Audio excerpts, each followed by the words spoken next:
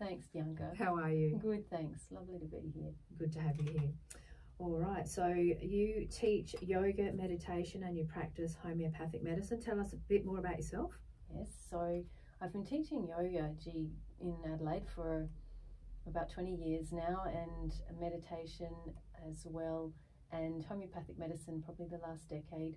That's become more and more popular recently because of the desire for people to treat themselves naturally and with um, alternative medicine. Um, and I've seen a growing interest, yeah, particularly recently for, Yeah. for homeopathic medicine. So, yeah, I've been on the journey for quite some time um, and seen a lot of change even within the industry, particularly within yoga in the last couple of decades. Yeah. And it's now it's so accepted and normal.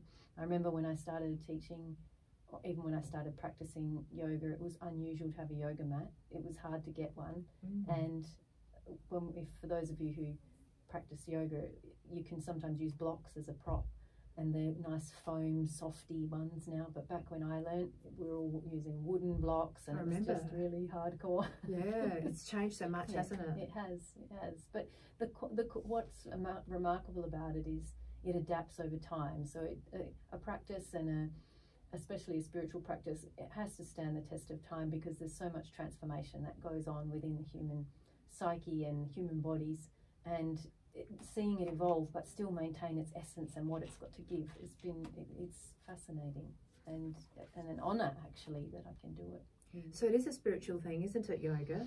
Certainly is. Yeah, it's the basis of it. Um, I think we've focused a lot on the uh, postural aspects of yoga, and it's it's many many benefits posturally, but it's a for, for many people it's an inroad into the further practices of yoga, which are spiritually based, and it doesn't mean that it's all woo woo, but that how are we relating to the outside world? How are we relating to ourselves? And how are we showing up in, in the world? How, what is it that is the basis for how we live and how we Mm. treat people? Are we kind? You know, there are a myriad different books and scriptures that detail all these things, and um, it's certainly a path with a lot of depth if people want to pursue it for that reason. Mm. I think yoga and meditation goes together, doesn't it? Yeah, certainly does. So, in fact, you could say that it's a natural progression, and, and that to be practicing yoga asana, which are the postures, really lead to uh, a quieter state within so that you can sit in meditation and you can notice things that you perhaps wouldn't in your normal daily life that go under the radar. So, this link. Um, doesn't need to be there. It doesn't have to be that you need to do yoga postures to do meditation, but it, it can be a really wonderful tool to move you into a state which gives you that feeling of awareness of being a witness to what's going on.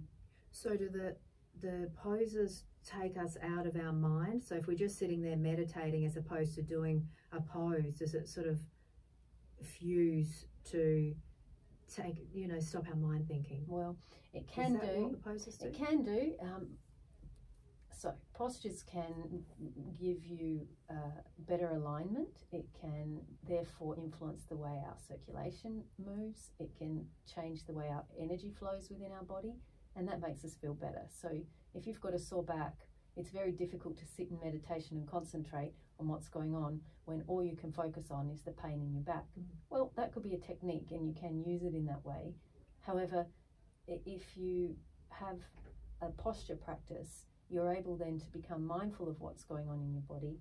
N- won't necessarily turn off your thinking, but Mm. you're more aware of what's going on in your body, and that includes your thoughts. So it's accepting what's present in your experience. And the further you get into a practice, whether it be an hour long practice or a 10 year long relationship with a practice, the further you get into that, the more you can real you can recognize or experience that transition from being super busy in the mind and stressed and worried about all these things in your life to slowly they become less loud they're not so uh, forceful in your mind anymore Mm. Mm. That's interesting. Mm, yeah, so we can develop a, a kind of detachment, not in a cold way, but in a Mm. warmer, more open, accepting way of whatever it is that's going on in our lives. Because invariably we have problems and we experience change and loss and all of those kinds of things. And even happiness can bring stress. So navigating our lives with the basis of a practice gives us a container that we can watch mm. all these things happen in. So it's not a it's it's not just a free for all going out into the world and being hammered by all your experiences. You've got a container for it when you've got a regular practice. Mm. That's interesting that you say that happiness comes with stress too. yeah, it can do, I suppose. Sometimes people just aren't acclimated to happiness and they're worried Oh, once they're happy, true. oh my God, it's going to go away. How long is it going to what's last? the catch? I don't want know? to be disappointed. You know, Yeah, yeah, I'm yeah. going to lose my, my happiness. Yeah, so it always comes with a, a Yeah. cost. Mm, That's true. That's true. It's Mm. finding that balance. About balance. We're all seeking balance. Yeah, I think so. Mm. Uh, So, how important is breath and breath work with what you do? Mm. It's paramount. Well, Mm. I always say in my classes, nothing that I guide you into is compulsory except your breathing.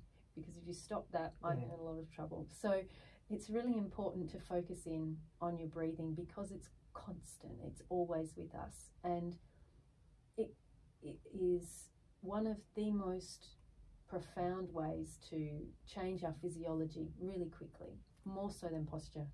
And it can access the mind state very, very fast. So, the change that happens through a yoga practice when you start focusing on the body and introducing a breath centric approach can be that everything starts to calm down because your nervous system isn't on high alert anymore. We're not in fight or flight. So, there's this ability physiologically for us to have the power to calm ourselves down quite quickly using breath work. Um, and that could be used integrated into movement and posture, or it might be used as a standalone practice. And it might be used for some people who find it difficult to sleep or, and, or Okay. can't get back to sleep. Right. So it doesn't need to be a formal thing. We're breathing all the time. Mm. So it, it, it's developing a relationship with the breath and what we can do with the breath in that moment. Yeah, that's interesting that you said that about the sleep too. Because that would that makes sense. It's something so natural, but people wouldn't think about it. To think, okay, I can't sleep. I've got things on my mind. Let me just lie here and focus on my breath. It's something so sort of simple. But I'm glad you said that. Mm, it's To maybe someone listening can just do that. well, What, what know, can they do? What, what how would they do it? Like for so, it's actually sleeping has been something that I've worked on in myself for quite some time, and I'm familiar with the 3 a.m. Um, voice in the head. So that's yeah. you know the the time You where make, waking up at three? You know, when people wake up at Yeah, two or three o'clock in the do. morning, and that's when all the worries come, and the Yeah. magnifying glass comes out and makes them all bigger. So we, we don't have rational, brain centered thoughts at that particular time of the day, usually. So we, uh, to, to, in order to use breath in that moment, it can be very, very simple. So it's it's just the the turning of your attention onto the breath can be in itself soothing and it changes the breath. As soon as we start to be aware of it your breathing will change. And to add to that even simply just lengthening the exhalation starts to calm the nervous system down. Some people find counting the breaths really helpful that that process of counting perhaps on the exhale from 1 to 10 and then repeating it if necessary and noticing Mm. how many times you go off the count how many times you end up on your usual thought train of whatever rumination or worry or whatever planning it might be but to constantly come back to the counting and the breath can also be helpful Yeah. Mm. Mm. So, can we do a little breath work now, like a little one minute breath work? Yeah, that's a great idea. So or however long you think. Yes, We'll yeah, leave, sure. in your yeah, hands. we can do that. So if any, if you're driving in the car, don't close your eyes. But if you're sitting at home and you'd like to participate, make sure you're comfortable in your seat, and you'd close your eyes if you're able to, and mm, just just settle in to where you are, without feeling like you need to be doing anything special or different. And notice how your breathing is just as it is now. It's our most intimate connection. It is our life force.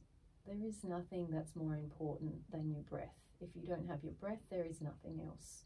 So just following the the pathway of your breath in and out through both nostrils to start with.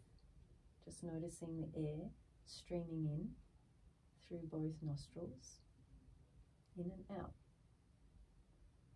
And whilst you do that, maybe notice if you're clenching tension around your eyes or in your temples, your cheeks, and particularly relax the tongue the jaw. Loosening all these areas gives more freedom for the breath. And also relax the back of your head where it meets the neck. The skull meets the neck. That junction can hold a lot of tightness.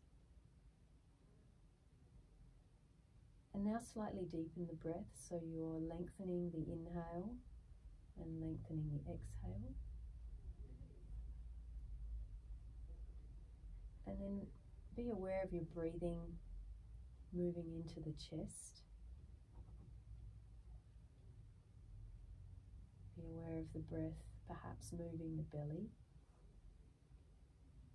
And just noticing how the breath touches the inside of the body, these pathways.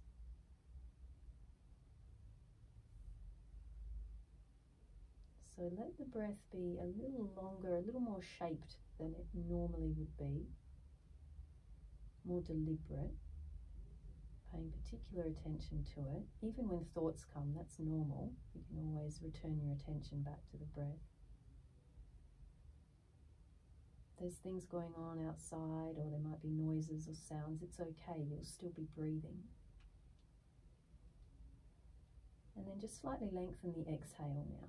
So, just for the next few rounds, make your exhalation a little bit longer, maybe a couple of seconds longer than the inhale. And what you might notice is as you lengthen the exhale, the inhale naturally becomes more free and perhaps bigger, and that's fine. You're just now concentrating on lengthening the exhale by a couple of counts couple of seconds. The breath is the bridge between the body and the mind.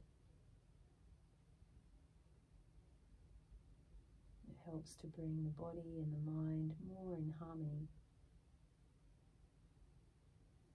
So we feel more centered and at ease.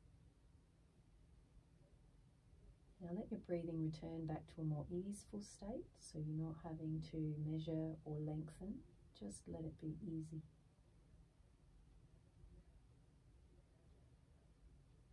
And then, if you've had your eyes closed, you might like to just tilt the head a little bit forward and open your eyes, bring your head back to center, and just continue breathing easily. Simple. Nice. Very nice. All right.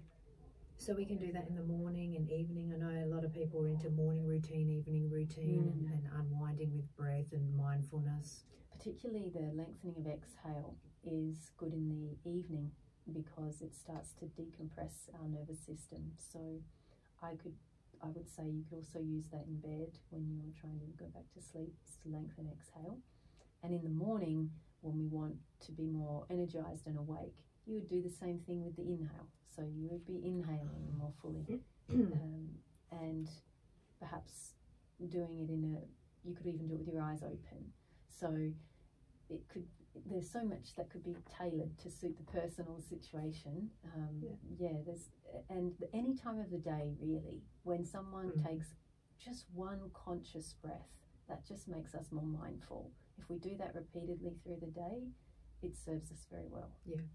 Mm. That's right. And, and we know, you know, when we're stressed or, you know, someone's in hospital and someone's got some bad news and they're stressed and they're panicking and they're told breathe. Mm. Just just breathe, you know. Mhm. It's so fundamental. That's the, the, and also the fight flight response when we are panicking Mm. changes our breath. You know what it's like to be upset or panicking and your breath becoming shallow and laboured.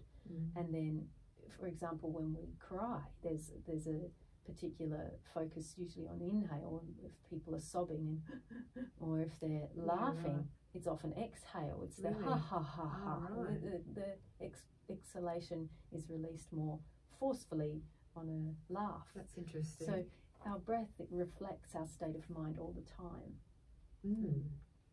So the inhalation and exhalation has its own They have sort of thing. particular effects. Yeah, they do. So you could think of the inhalation as being more energizing, not like the type of energizing you get from caffeine, but the energizing Mm. which where you feel like your circulation is moving, you feel alive, you feel you feel vital. Mm. The exhalation is a calming aspect to the breath.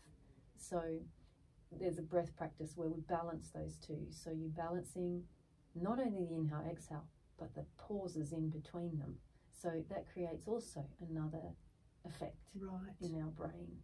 And this is all studied. There's this really this, this really real concrete Science, evidence around this stuff. So um, it does change the way we perceive after we've been doing breath work. We feel different, so we see the world differently. So we interact better with people. So w- when we breathe in, we can hold the breath at the top of the breath Mm. for a little bit before we exhale, Yep, and then again before we take a breath in, wait a bit. yep, Like what? How long? exactly, exactly that. So the the Sanskrit word for that is the sama vritti, which is the same fluctuation. So it's basically, it's can be translated as square breathing. With there's four Mm. aspects to the breath. So there's the inhale and the pause, and the exhale and the pause, and you can play with the length of all of those aspects of the breath for different effects. What I always say is never ever force. So if you feel out of breath doing breath work, you're not doing something that's helpful. Mm. So just let it go. Mm. But if you can, say, for example, do a four count inhale, a four count hold, and a four Oh, count yeah. exhale, and a four count hold, and work towards that, then you'll find it has a particular calming effect on the brain and on the mind. Mm.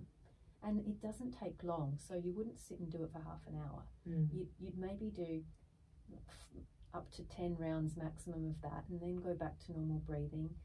Then do it again a few times, and then maybe go back to normal breathing. So it's nothing rigid. Right. Mm. Have you seen Wim Hof? He- Oh, yes. He's that- a remarkable man. Have you tried those exercises he does? That one strong. was it was it something like holding the breath for a minute or a minute and a bit, a minute and a half, and he said, and people say, no, I can't do it, but he says just, and you can do it. And I, I actually tried it and I did it. I was so shocked. I was know like, it's amazing. What? I just held my breath for one minute. I know it's amazing. He's he's a he's a phenomenal teacher and man. He's a force of nature actually, and he the way he instructs is just so straightforward and to the point. There's no choice about it. Exactly, and and the will that you can do That's it, right, that spirit in him. Mm, yeah, and I was also surprised when I um, used his technique. I thought, let's see where this goes, and quite surprisingly, it, it you can do amazing things. Mm, certainly. his story is amazing, isn't It it? I mean, what sort of got him into all this was what happened with his wife. That's right. the that's tragedy. right. Of his wife's wife's passing and wow And the power of what he's done with cold. yeah, Yeah, the cold Yeah, amazing. But sometimes i wonder if that's good though Yeah, I all of that cold that icy cold Yeah, I think for some people, not everybody. I think it depends on your condition. Mm. and the mind is Yeah, everything isn't It it certainly it's what, what's up here Yeah, definitely. gee whiz now i just want to backtrack because you mentioned ca- caffeine, and I just thought, I wonder what your thoughts are on that because you Mm. know there's so many different schools of thoughts, isn't there? Yeah, caffeine is it good? Is it not? Is it? Well, What I do you think? suppose everyone's different, and some people really rely on it, and Mm.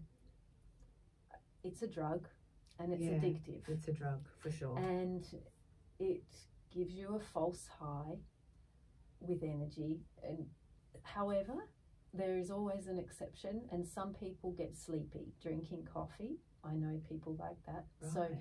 I, I, with anything to do with health, I really don't like to say there's one rule, there's one way, Mhm. because it's it's it's always variable depending on the person. So I think that caffeine is highly addictive Mm. and relied upon because people are tired. I think people in general are just so flat out exhausted from Mm. their lives and just trying to keep going. So there's no, I'm not trying to shame anybody for drinking Yeah. coffee at all. It's just hard. And some people just like the taste of it and it's, you know, social. So Do you drink coffee? I don't drink coffee, no. Did you ever? I did, yes. I and I always, when anyone asks me that question, I remember back to my uni days, and I think back to when I was drinking uni coffee and wondering why I'm getting heart palpitations. Really? Yeah, Oh that- yeah, it yeah. does that to some people, doesn't yeah. it? I'm particularly sensitive to things like that. So yeah, I- Well, every time you had a coffee, you got that. heart palpitations. But I think it's also the particular type of coffee that you drink. So If it's strong. yeah, or if it's you know got other things in it. But I Mm. think that yeah, it, it, I understand some people have trouble, you know, because it's a vice really, and they want Mm. to stop it but can't because they rely on it so much. Yeah. Mm. So addictive. It is. It really is. I was only having one a day and I missed one because I just didn't want one. But then I had a migraine Oh. and I had to have one to get rid of the migraine. And I thought, now, as soon as that happened, I said, no more because I don't want that to control my life Mm. because I didn't want one. So why should I have one when I don't want one? The coffee was controlling me. All it was was one a day. I thought, how can this be? And you can become dependent, so dependent. It's not like I on had five, No. but real intense migraine for two days. And then after that, I haven't had any for, I haven't had coffee for months. I feel really good. Oh, that's good. When you've had an experience like that, it's easier to let something go, certainly. But it, you know, it, it's it's a tricky topic because I know lots of people are attached to it. But it, Mm. it's certainly, uh, some people think it's a health thing. Some people think coffee's really healthy Mm. and have it with butter in the morning. I Yeah, I- what's I- that called? It's called something. Bullet, Oh. or bullet coffee or something. yes, that's right. No, you're right. It is. It's something like a bullet, something magic bullet. But yeah, I, yeah, yeah. I, I'd like to see if that sustains the test of time. I'd like to see how That's that's going after that's 10 true. or 20 years. Yeah. What the studies show. yeah, I, I know it's not as sexy, but having a glass of warm water is probably just as good for Oh, your digestion. Exactly. With a bit of lemon. Lemon in it. we were talking about that with Lee and Beatrice Absolutely. week. Warm we need to water. do that, especially first thing in the morning. Our liver has just come off duty, like hardcore detox duty overnight, and it really helps to cleanse a lot of that debris Mm. in the morning. Just having lemon water, it can be so helpful. You know what it's like in your mouth in the morning? That's like that through the whole of your system. Lemon water is a cleansing item, so it can re- it can really reduce some of that build-up that's happened overnight. It's fabulous. Build up of all the, what what's in our environment, toxins. Well, it can be just like that. bacteria that's grown overnight, Mm. or that um, if we've been stressed, the chemistry in our blood changes, so different bacteria able to grow that maybe aren't so favourable. Maybe you've eaten too much too close to going to bed, so you've still got some digesting food in there that's been there for 10 or 12 hours. You know, there's, so many processes that go on to try and help our bodies clean themselves up. That's just something we can do to assist it. Interesting. What can we do to help? We've I've got a few minutes left. Um, help help our sort of gut microbiome. You know, garlic, ginger, turmeric is always what people talk about, Mm, but mm. just some things. I mean, uh, Beatrice was even saying having gaps between eating. You know, have some space. Don't Definitely, cram the food in. definitely. You know, the one thing I say to people that talk about gut micro- microbiome is cook.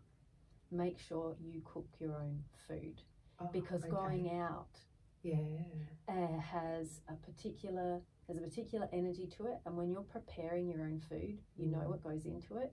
you know you know you're chopping your vegetables you, you what you're putting into what you're eating and you know what's happening you know what you're putting into your body we don't know what we're putting into our body when we go out there are some good really good places to eat out but Mhm. not always so i think you need to be really aware of what you're putting in your body. I think that is the number one key. Plus i think it's really great um, to eat fruit.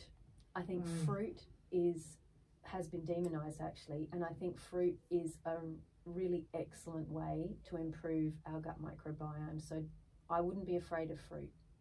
Yeah.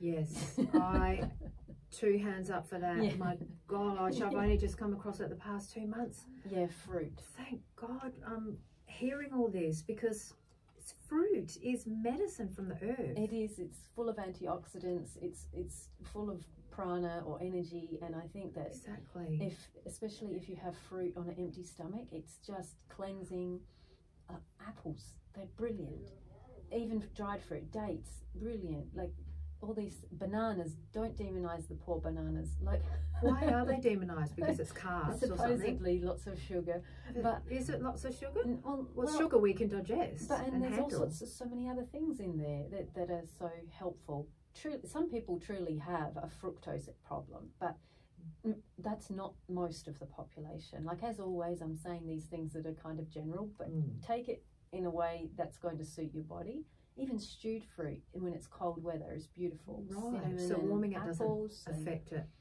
oh it's still got lots of fiber and it's, it's no there will be a lot of vitamins and minerals still present it's Oh, because you know how we hear if you heat it up, it kills the vitamins. I think if you cook it to within an inch of its life, it yeah, exactly. wouldn't be as great. Like, Overdo it. yeah, again, there's a balance. Right. Yeah, just a low flame, just for five ten minutes. Then Stew it's- so logical, isn't put it? some cinnamon. I probably don't add sugar to it, Yeah. and just let it sit there and have it. Yeah, yeah. That's it's one of the most simple Mm. things I think we've overlooked is the fruit. Because we do want something warm in winter.